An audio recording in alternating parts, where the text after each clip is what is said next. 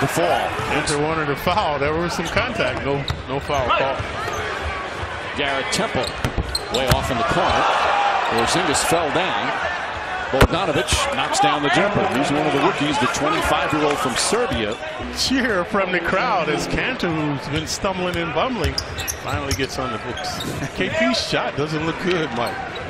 Too strong. Bogdanovic, nice movement without. It's not necessarily just because you don't make a play on the ball a flagrant foul. MVP, the Turkish finals. They won the championship, won a EuroLeague championship. Tip of the cap to the workers here at the Garden. And they do it numerous times during the course of the season.